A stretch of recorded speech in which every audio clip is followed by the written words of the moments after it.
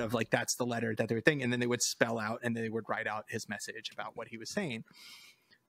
I, I was like, just get a Ouija board, like really, come on. Um, Yeah, let the ghost do the spelling for you. uh, but but one thing that did come out of all of this was that the the poltergeist had really bad spelling.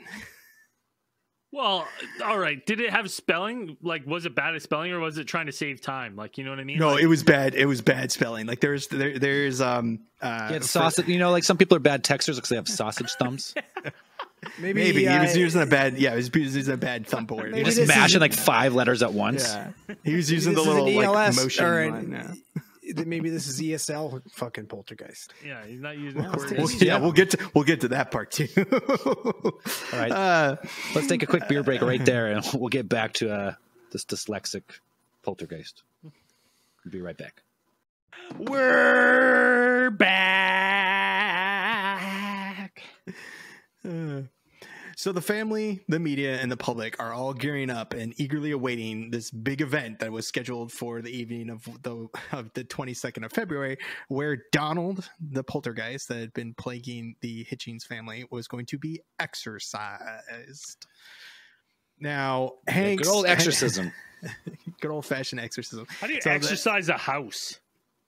Wasn't the house. This is the It's a thing. fucking, it's a, it's a fucking geist named Donald. Yeah, but that's what I Yeah, mean. but- I, I agree with Braden, like because exorcism's like a demon's inside you, but Yeah, this is like, it's like- there's a polter, demon. The poltergeist is the house demon, if you want to look at Yeah. it that way. Sure. I'm- Um, I seem to remember by the it. strictest I have definition, exorcised the demons. This house is clear. Yeah, I, I think how they it had, goes. they had kind of settled on, on the idea that this was, it was some type of kind of like possession case kind of going on. I mean, I mean, I guess poltergeist in the strictest sense is not like an accurate term to refer to this entity, I suppose. Um, more like a possession of some type or cohabitation, I guess, something. Um, Got to remember too. This is a part-time medium. Maybe he's not fucking. yeah, maybe he's not making the Not right fully call. committed, yeah, yeah. It's true. He's Yeah, that's part-time. true. Um, so Hanks was going to perform this exorcism at his home in Grove Way, Stockwell, which is about uh, one and a half miles uh, west of Wycliffe Road, where the Hitchings family lived. Now there were going to be people there, not just Hanks. It was going to be Hanks, his family, uh, like his wife and his daughter, um, plus uh, some photographers, reporters, and a TV cameraman uh, plus plus Wally uh, was going to be there uh, to ensure Shirley's safety, uh, and they were all going to kind of cram into to the one, you know, the common room uh, of, of where they were. Now, they had the cameraman there, uh, though unfortunately for us, uh, Hanks refused to allow any photography or film during the No flash actu- photography. No flash Yep. photography. during the actual procedure. Uh, the actual exorcism itself, because he felt that that would interfere with the conditions that were needed to for the ex for the exorcism. To prove the smart that he was Yeah, full yeah, of yeah. shit. Um, so I want no evidence no, of this because I don't know what the 'cause I fuck mean, like- I'm doing. Maybe like it's, let's just say like because they said electronic devices and stuff capture scares this stuff away. So it's like if you're trying to capture it into a room or a place to then expel it. This it. is what do you mean electronic devices? This is 1956. You got fucking cameras made of stone with woodpeckers inside, fucking carving out the fucking image. it's a living. Um, yeah. nice. uh, so any any of the footage or photos that, that you will see on the internet of the actual things like those those were actually staged uh, for after the actual exorcism had taken place. opposed. Pretty much, yeah. Like they were like I mean they had everybody there, so they wanted to get something. Um, but all of They those got all their robes on and shit. You gotta fucking get a good picture of it, right? So the exorcism pretty much the exorcism pretty much went down uh, like this. Uh, they sang they sang a couple Christian songs, uh, onward Christian soldier, This soldiers. little light of mine, I'm I'm gonna let it shine. This little light of mine, Uh, they had a piano. They had I'm a gonna let it shine. They had a Mrs. This Ada little light Rodin accompanying on the upright Oh, I'm piano. gonna let it shine, let it shine, let it shine, let it shine. And then they went into the the Lord. demon. Yeah, and then they went into the Lord is my shepherd. Uh, and then know. after that, which was that fo- one. which you don't know, uh, and that was followed by a period of contemplative silence and prayer uh, in order to, closed it out. drive They They followed by silence because the they didn't know any more songs. They just all sat there like, oh, Right. Spirit in sang the all the sky. hits. Close it out. We sang all the hits. This this silence was suddenly broken by the sound of a pounding on the front door. Like seconds after the silence, like the silence was going on. So they sent Mrs. Hanks downstairs to No, check. it, it what was, making fucking grandma. noise. Shut up! Well, grandma was like a mile and a half away. Did she walk all the way there? Like, um, she's six four. She took three steps and she's there. She's so Mrs. Hanks returned uh, after checking the front door to inform her husband that there were two policemen at the door. Hey, Hanks, listen, listen. I'm the cops. I pound on the door. I see a 15 year old girl surrounded by fucking dudes in cloaks. Just start blasting. I don't even ask questions.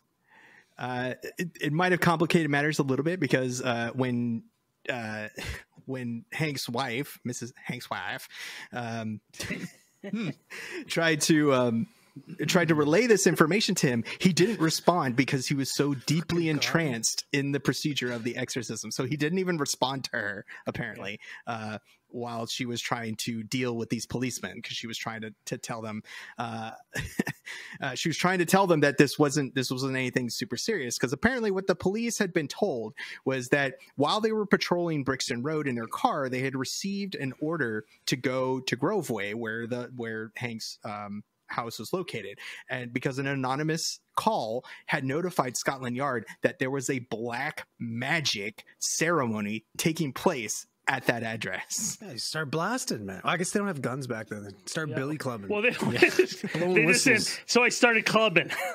Do they have guns now? That's a you. No. No, The but English cops UK, UK, they just club you. I think they just I mean, have got they have like right? special. They've got they get special units that carry, but for the, like the the not patrol standard issue. officers and stuff like that. Fucking billy clubs and Yeah, when you first like Tasers. first responders there are beating you. Second responders are shooting you. So, uh, Mrs. Hanks apparently did her best to try to explain that what was going on was actually a spiritualist meeting and that it was perfectly legal in the eyes of the law. So, which, Lord. which, it matters. Which you I would what's think be arguable because black magic. I would, I would, I would lump in necromancy, the communicating with the dead, bringing up the dead, like as black magic. I, Isn't I when mean, you bang the dead? Well, no, that's no, that's necrophilia. okay. That's Oh, okay. yeah, one of the it's like funny. Oddly enough, I like I know you UK and Canada are common law, so it's it, it, a little Dan like it, it's not it's not the same for you, but like up until like the latest revision of like the Canadian criminal code, like two years ago, like fortune telling was legit not allowed according to the criminal code of Canada. Yeah, buddy. Hey, Like, listen, witchcraft- Mrs. Cleo witchcraft- better not bring her ass to Canada. Yeah, That's all I gotta witchcraft say. And fucking witchcraft and fortune telling and like a bunch of the shit was not allowed. Blasphemy. As of like two years ago, so 20, 2023, like 2020, that stuff got removed from the criminal code of Canada. so I can imagine it like this time in England, the criminal code was probably like fucking black magic. Like all this shit was probably in the criminal code. Like this ain't this ain't okay. This isn't Buddy, above this board. is not that far removed from like the vampire panic and shit like that. Like this Yes, does yeah. not surprise This is me. true. yeah. And then we have the fucking satanic panic in a fucking few years. Like Um, so for a- a quarter of an hour, the, like you know, fifteen minutes, the, the the cops she invited the police in to actually watch and listen to the proceedings of what was going on, and then they just they finally left, and they were pretty much satisfied that whatever was going on, they didn't see it as being against the law. So they, I mean, it's left. fucking weird. Yeah. it's not illegal, I guess. Uh, so soon after they left, um, apparently Hanks uh, was was possessed by his African spirit guide. That's how they describe it. He he is infused by some type of uh, guardian guide spirit with the name of Sambo I think Uh, Sambo. who spoke through him in a deep voice, and Sambo uh, declared that the exorcism had worked.